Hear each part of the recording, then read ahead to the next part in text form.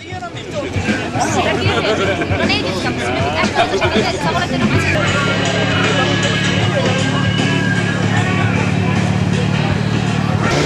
No a nyní, přátelé, to, proč jste sem všichni přišli, první z mnoha nádherných soutěžních aut, které se účastní letošní Vyškovské rally. A v něm posádka Josef Peták, Alena Benešová.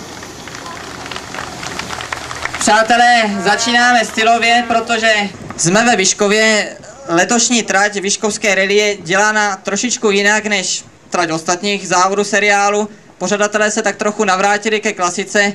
K šotorinám je pravda, všichni to vás ví, že vy tyto úseky moc nemáte rád. Já vás poprosím o hodnocení letošní tratě. Tak já přiznám, že ta loňská trať se mi líbila daleko víc a nejsem zastáncem těch kombinovaných vložek v tom, že nelíbí se mi, že to auto je vlastně konstruovaný na asfalt a nebo na šotolinu. Nikdo ho nevyvíjí na věci mezi a to znamená, že teda teďka jsem to auto musel zvednout, což nefunguje potom správně. Přilnavost, Nevidím důvod, proč teda na hladkých gumách mám jezdit někde v kamení a v něčem, kde hrozí průraz a pak to skončí, jako to skončilo loni v Krkonoších, pomalej defekt a trefím se do nějakého stromu. A tomu riziku si myslím, že je zbytečný se vystavovat, že je lepší tomu předcházet, takže já nejsem zastáncem těch kombinovaných úseků.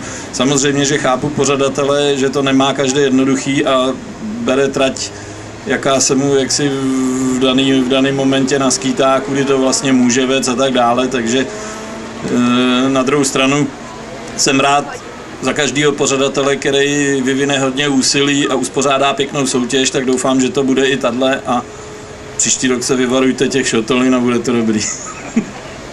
Dobře,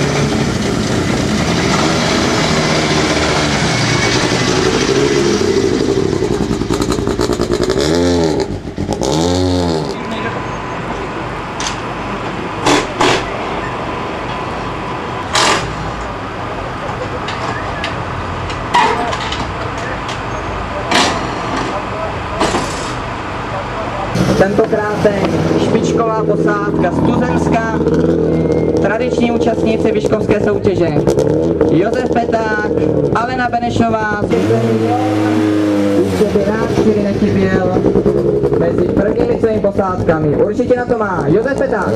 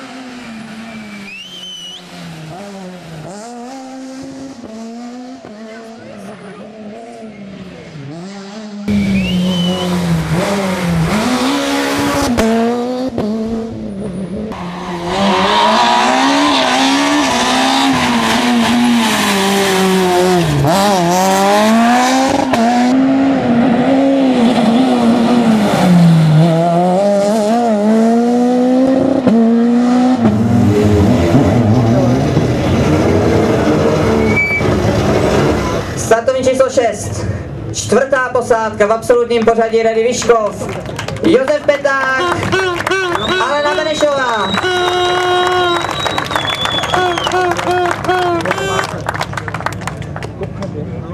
Vůz Peugeot 207 S2000. Josef Peták před startem soutěže byl na čtvrtém místě, Super 2000. Josef Peták, Alena Benešová.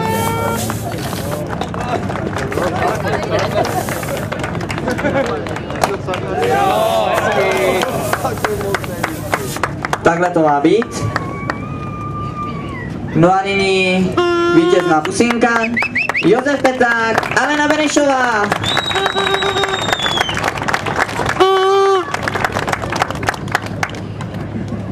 Úspěšný vyškovský startu. Nyní je na cílové rampě.